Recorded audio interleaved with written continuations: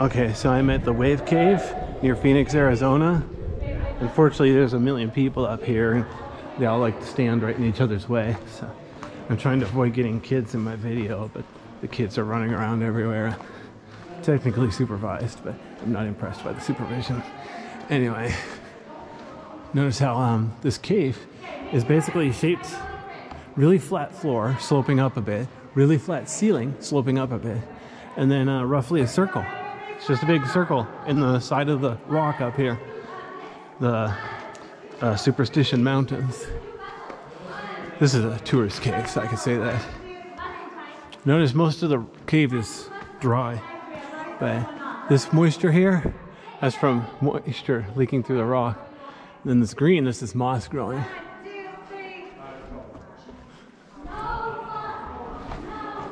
Nice big spot up here.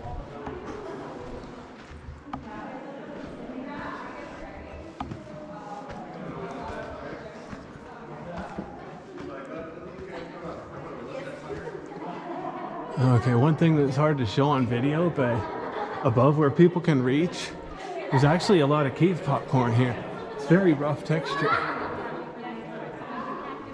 Even though it's not a solution cave, I don't think, but it's still got a lot of, it must be pretty old.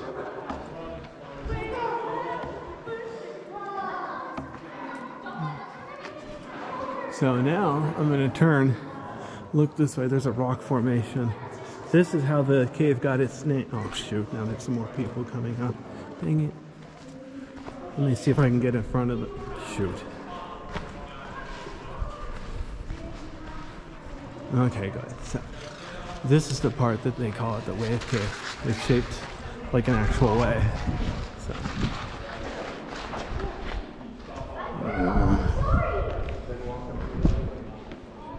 So, people come for thousands of miles, take pictures of each other with this piece of rock that's shaped kind of like the wave of the ocean or whatever.